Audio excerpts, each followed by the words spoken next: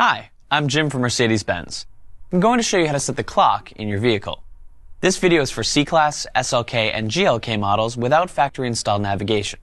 For all other models, please see the video for clock setting with COMAND. Setting the time is a lot like setting a wristwatch, using the central controller knob on the console and the screen in the dash. To set the time, press the Sys button on the dash, or select the System menu on the main screen, using the central controller. Select Time. Select Set Time. A visual of a clock will appear on the screen. At this point, you can just rotate the knob either way until you reach the correct time. Press the knob to confirm, and you're done. The clocks in the instrument cluster, and in this display, are both reset. You can set today's date in a similar manner. Just start by selecting Set Date from the Settings menu.